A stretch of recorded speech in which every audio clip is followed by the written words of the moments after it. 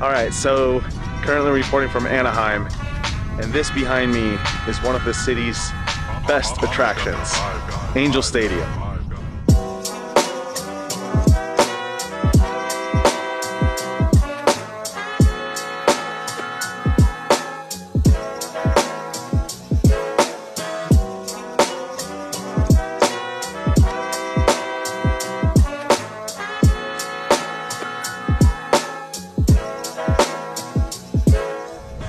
So I don't know much about baseball, admittedly. Uh, I think I've been to one game in my entire life, and I must have been maybe 13 years old.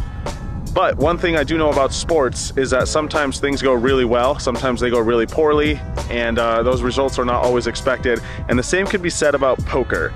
As for me lately, things have been going very well, uh, almost too well if I'm being honest. But you guys know how it goes. Things will go really well, then really poorly, and it's the constant back and forth that makes us love this game so much. However, today I am sharing one of the positive sides of my story, which is another good session I had at Hustler Casino Live last week.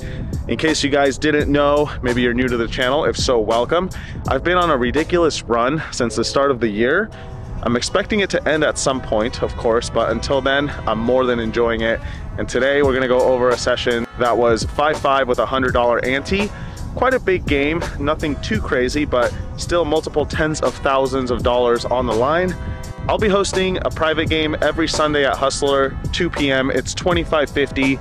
Uh, tomorrow is gonna be the second one of those and they've been a blast. So uh, if anyone out there wants to join, shoot me a message on Instagram, maybe give me a brief background of yourself and we'll take it from there. I'm trying to give new people a shot every Sunday, but uh, yeah, that's the only thing you need to know today.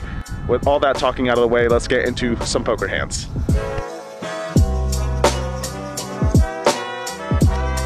All right, everyone, here we are back again to share some poker hands. Today we're playing 5-5 with a 100 ante. I sit with $100,000, and in the first interesting one, there's a $200 straddle. Christian opens from middle position to 500, and a bunch of people call, including myself, with King Queen offsuit.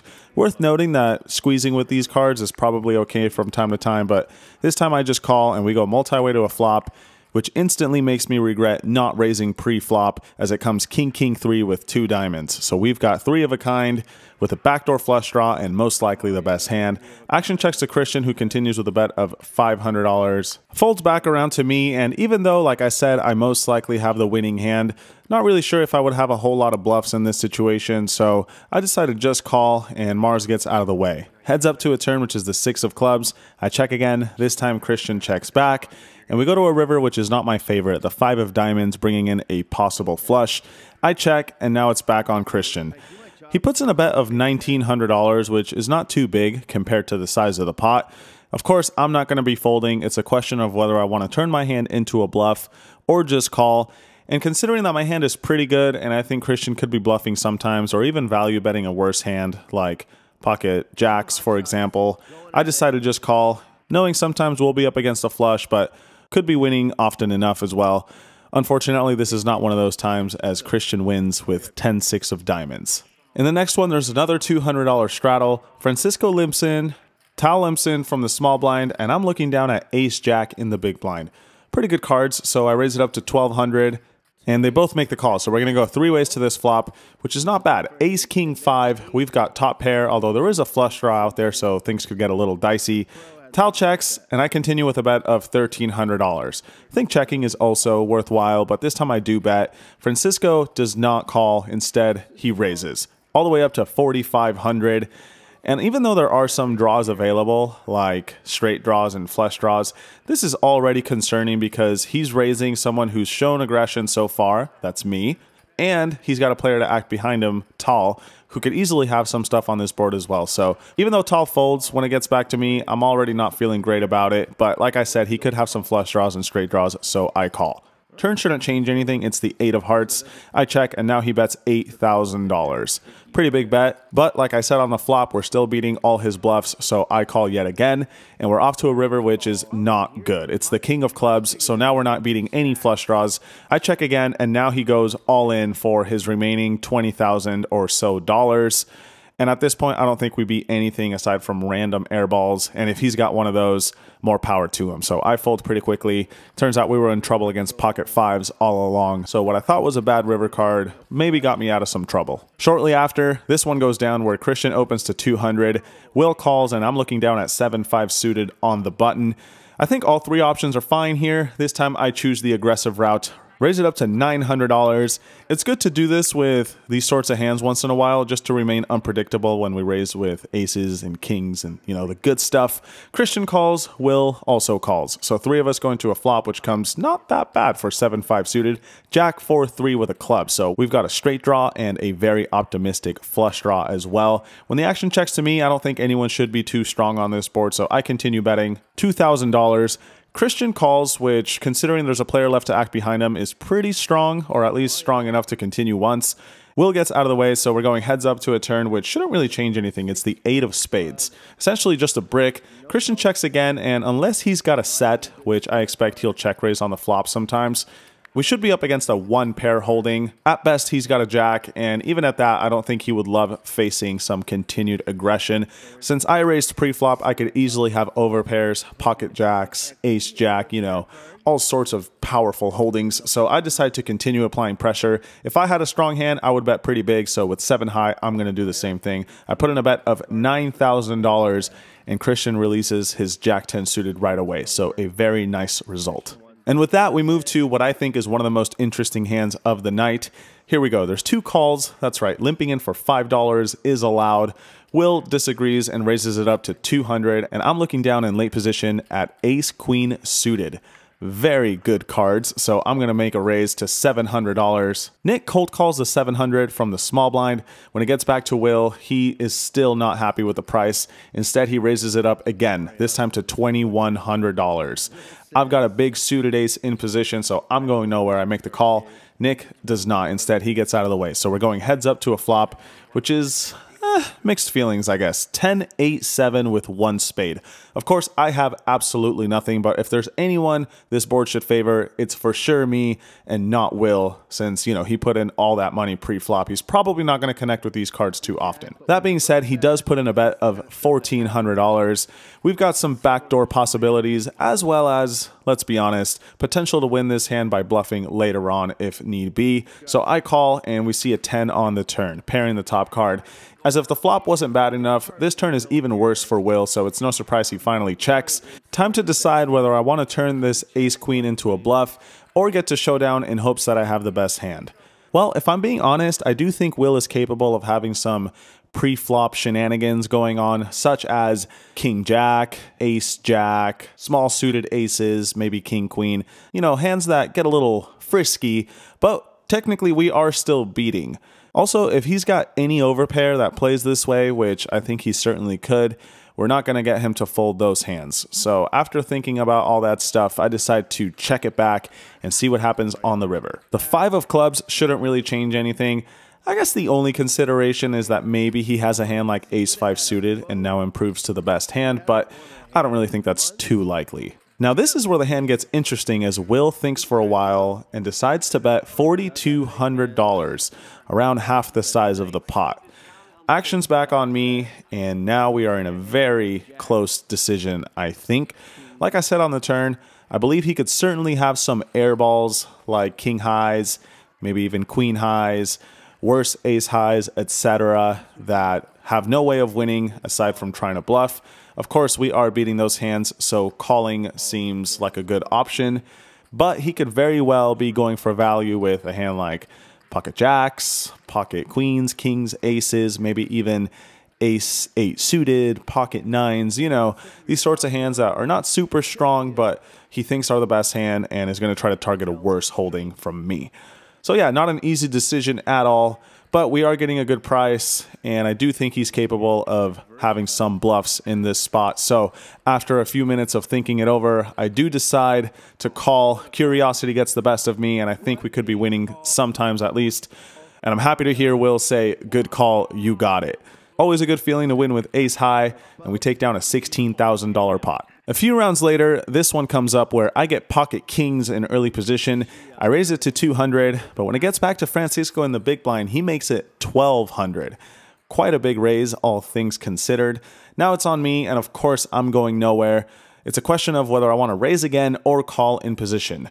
I'll be the first to say with Pocket Kings, re raising again is usually never a bad idea, but I do think there's merit to occasionally slow playing, especially if you're in position.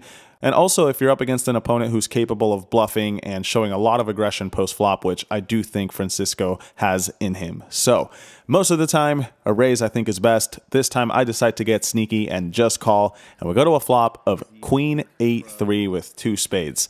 Pretty innocent board, unless, of course, we were up against pocket queens, for example, but not going to be scared of monsters under the bed. Francisco bets $2,100. I'm going nowhere. I call. Turn card is the five of diamonds. Shouldn't change a thing. This time Francisco checks, which to me seems like he's just giving up. I don't really feel like there's a lot of value in betting. Most likely if he had a strong hand that we could get some value from, he would have just continued betting himself. So I decide to feed him some rope and check it back and hope that whatever he's got is going to try bluffing on the river. And what do you know? We get a delicious river card, the King of Diamonds. Not only is it great because, of course, we river the nuts and top set, but I think it's a card that Francisco will try stabbing on with any sort of holding he's got, like Ace Jack, Ace 10, you know, all that kind of stuff. Seems like Francisco agrees because after a few seconds, he bets $4,000.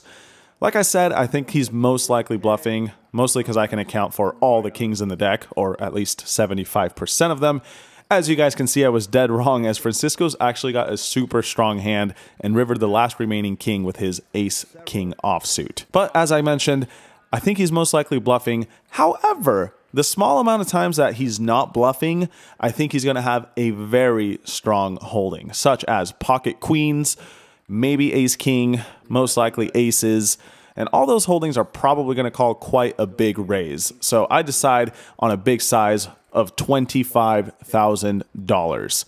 Maybe a little bit too much if I'm being honest.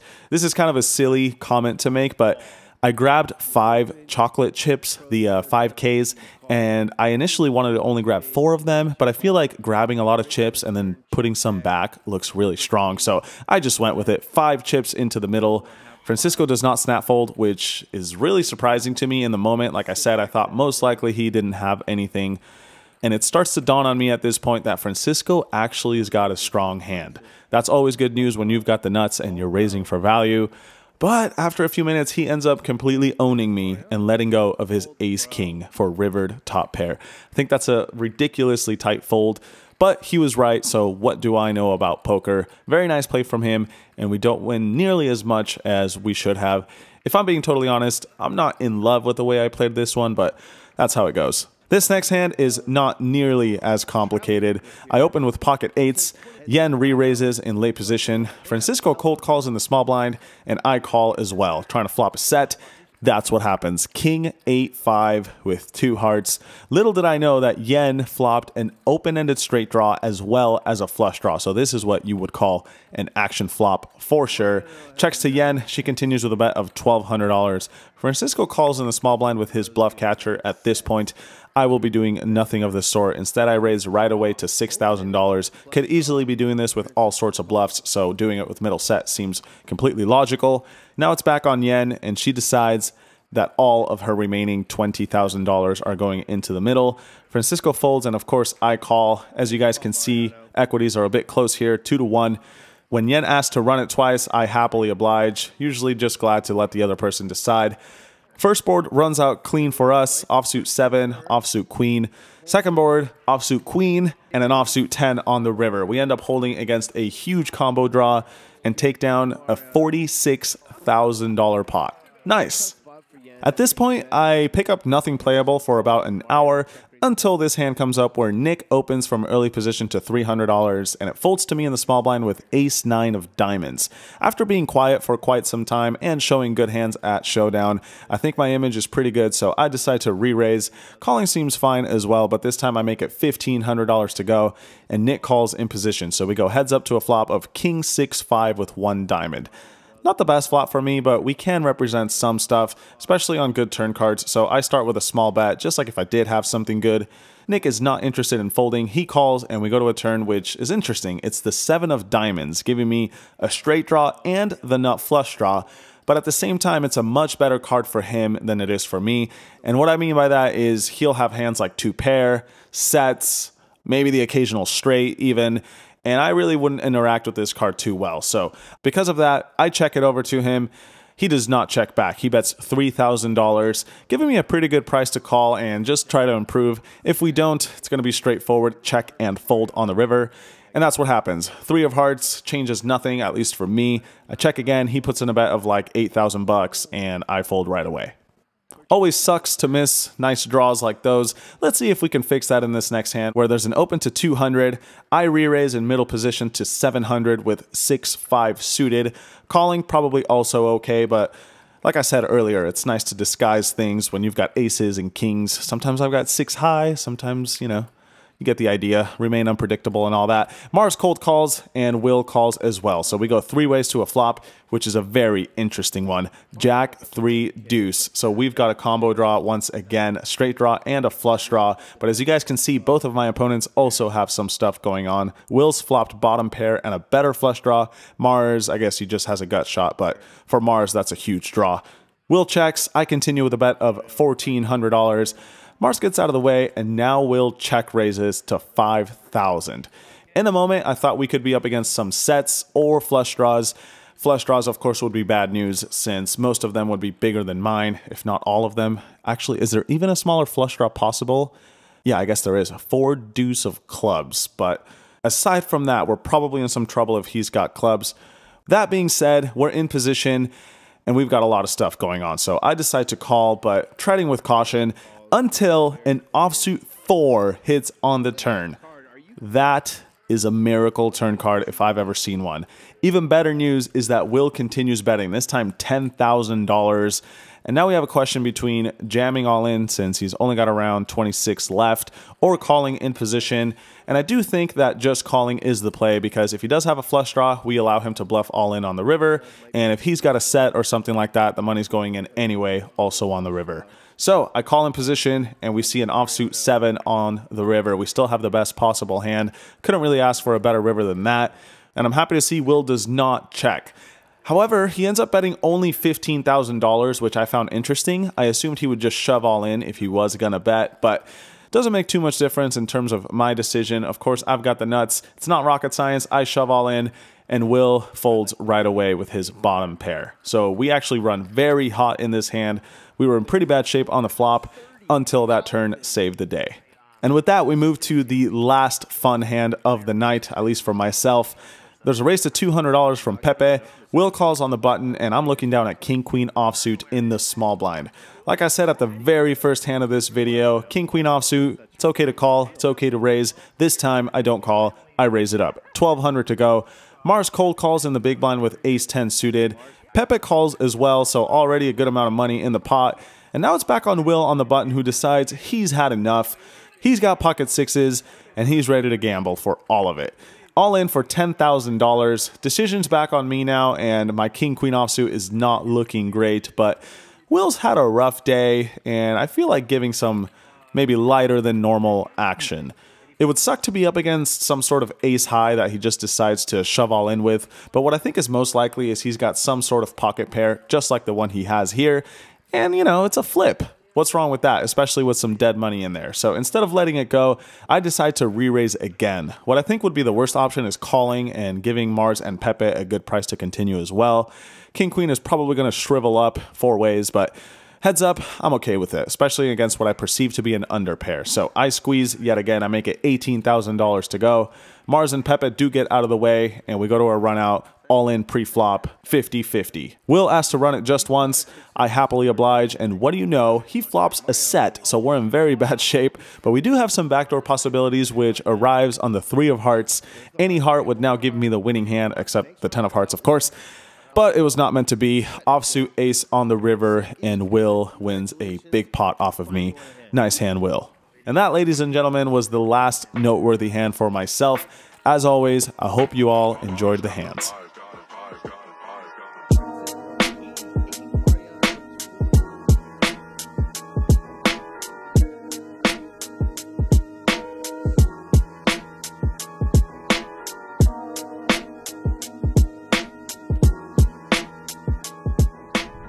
Right, so as you guys saw, things went very well for me on this particular Thursday. I ended up winning around $42,000 in about six hours of play, which of course was an amazing result. That goes without saying pretty much.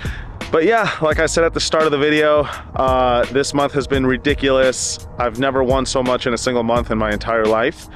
And uh, like I said, that downswing is gonna be brutal and I'll probably be saying the same thing except it'll be how much I lost for the month.